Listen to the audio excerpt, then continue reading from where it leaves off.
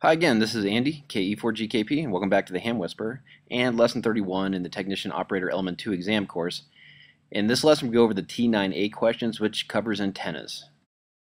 The questions in the T9A section go over vertical and horizontal antennas, the concept of gain, common portable and mobile antennas, and relationships between antenna length and frequency. Alright, let's get going. What is a beam antenna? Well, the answer you're looking for is an antenna that concentrates signals in one direction. So th this makes a beam antenna a type of directional antenna. Now, what makes a beam antenna a directional antenna is it needs to have at least two elements. And what an element is, is a conductor which is tuned or cut to a specific frequency, so it resonates at a certain frequency. Some have some beam antennas have many elements, but it needs to at least have two to give it its directional capability. Now, one element is the driven element. This is the one that's actually connected to your radio. And what actually has power going through it if you're transmitting. Now, the other is called a parasitic element, or if there's more than one, there's parasitic elements, which are used to focus the signals in one direction. So the driven element produces the signal, and the parasitic element acts as kind of a, a lens that focuses those signals in one direction. And if you know what a rooftop TV antenna looks like, that's a type of beam antenna. Which of the following is true regarding vertical antennas? Well, the answer you're looking for is the electric field is perpendicular to the Earth, which means it's at a 90 degree angle to the Earth. And this is sort of tricky. I'm going to try to give you a little background on this so you can help help you remember this question. Now, you have to remember that radio waves are electromagnetic waves, and electromagnetic waves have two components, electric fields and magnetic fields.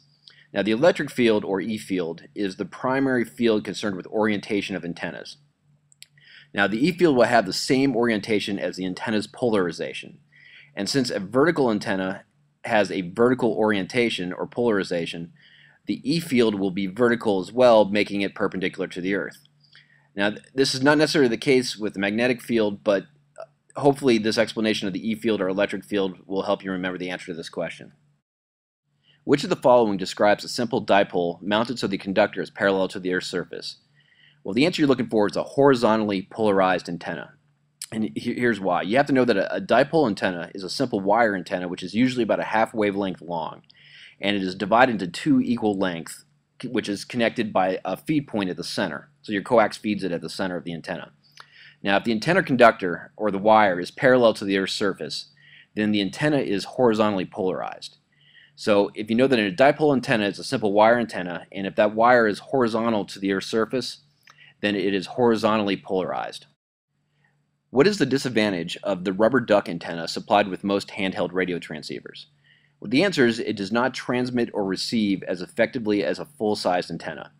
And the way they wanted you to come to this answer is that the general rule with antennas is the longer the better as far as producing and, and receiving a signal, and that's within reason. Rubber duck antennas are junk for anything other than short distance communications. So the point of this question is full-size antennas work better than shortened antennas. How would you change a dipole antenna to make it resonant on a higher frequency? Well, the answer is to shorten it, and this makes sense, and here's why. Ideally, a dipole is one half of the wavelength you are transmitting at. So if you're transmitting on the 80 meter band, your dipole length will probably, probably be about 40 meters. Now, if you go to a higher frequency like 20 or 10 meters, you are working with a shorter wavelength. And therefore, for the dipole to resonate correctly, you need to shorten it to match the higher frequency. So if you're changed to a 20 meter band, you're going to want a 10 meter long dipole.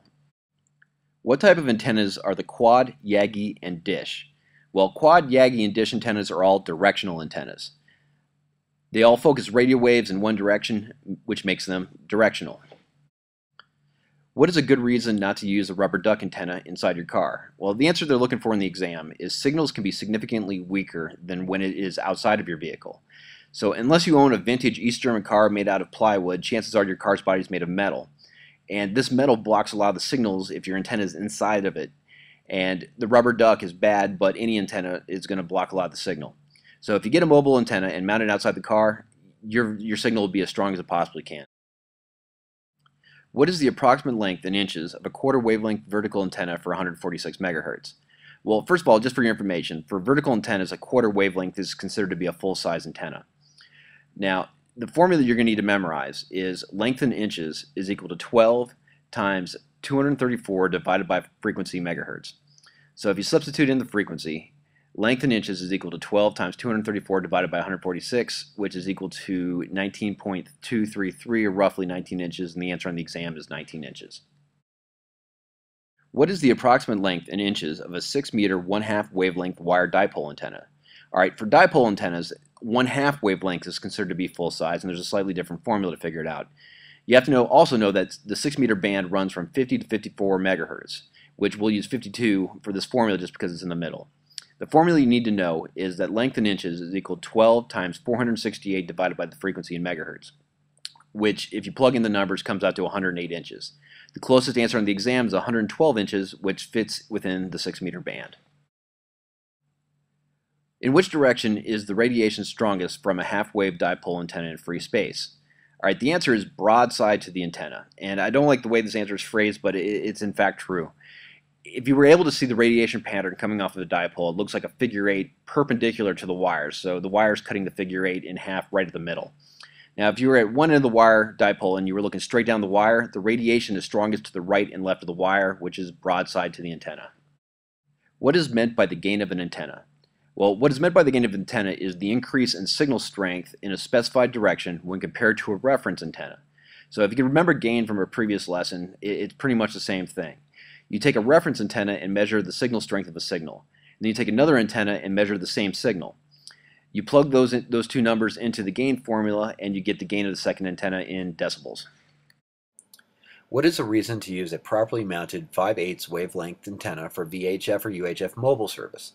The answer is it offers a low angle, lower angle of radiation and more gain than a quarter wavelength antenna and usually provides improved coverage.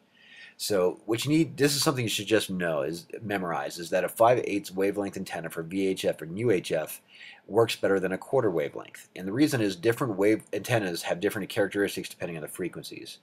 For VHF and UHF, a 5 8 wavelength produces a lower angle of radiation. And since UHF and VHF are line of sight frequencies, this low angle of radiation keeps the majority of the signal closer to the Earth and thus gives you a little bit better, more power in the right direction, essentially. It also receives signals better from this direction as well. So what is a reason to use a properly mounted 5 8 wavelength antenna for VHF and UHF mobile? It offers a lower angle of radiation and more gain than a quarter wavelength antenna and usually provides improved coverage. Why are VHF or UHF mobile antennas often mounted in the center of the vehicle roof? Now the answer is a roof-mounted antenna normally provides the most uniform radiation pattern. Now this question on the exam you got to be very careful with because the other possible answers aren't necessarily completely wrong. This is a best answer type question. The reasoning behind it is that the center of the roof offers a relatively uniform amount of metal on all sides of the antenna and thus the radiation pattern is the most uniform. And this will give you the best 360 degree coverage around the antenna. So the best answer for why are VHF or UHF mobile antennas often mounted in the center of the vehicle roof is a roof-mounted antenna normally provides the most uniform radiation pattern. Which of the following terms describes a type of loading when referring to an antenna? The answer is inserting an inductor in the radiating portion of the antenna to make it electrically longer. Not exactly sure how that's a term, but it really doesn't matter right now. All right, so this question is dealing with electronic principles, and if you can remember that, you'll be able to knock out at least two of the other questions. So there are several types of loads, and for this one, it's adding an inductor to the antenna to make it electrically longer. Now, we talked about dummy loads, and these consist of a resistor and a heatsink.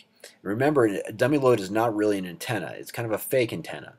So for this question, inserting an inductor into the radiating or in the radiating portion of the antenna to make it electrically longer is a type of loading. And that was it for the T9A review, and now it's time for a quiz. So take out a pencil and paper, number 1 through 14 this time, and when you're done with the, the quiz, you can go to hamwhisperer.com and check your answers there. You can find them under the exam answers page under the T9A section. I'm going to go through the questions kind of quick, so if you need more time, just pause the video. Let's start with the quiz. Question 1. What is a beam antenna? A. An antenna built from aluminum I-beams. B. An omnidirectional antenna invented by Clarence Beam. C. An antenna that concentrates signals in one direction. Or D. An antenna that reverses the phase of received signals. Question 2. Which of the following is true regarding vertical antennas? A. The magnetic field is perpendicular to the Earth. B. The electric field is perpendicular to the Earth.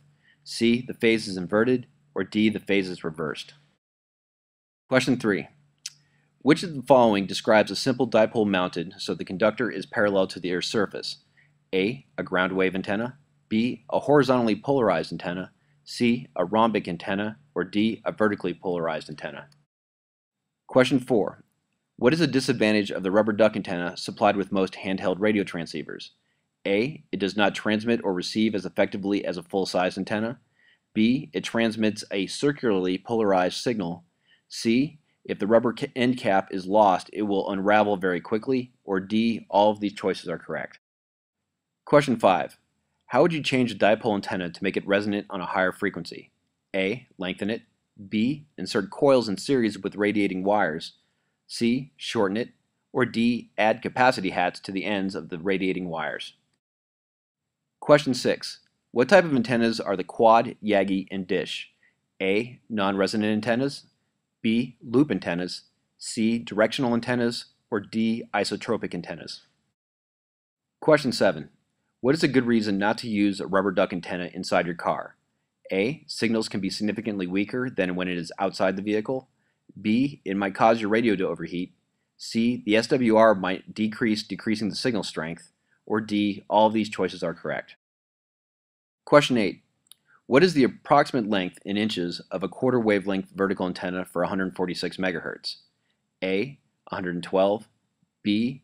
50, C. 19, or D. 12? Question 9. What is the approximate length in inches of a 6 meter 1 half wavelength wire dipole antenna? A. 6, B. 50, C. 112, or D. 236? Question 10. In which direction is the radiation strongest from a half wave dipole antenna in free space? A. Equally in all directions. B. Off the ends of the antenna. C. Broadside to the antenna.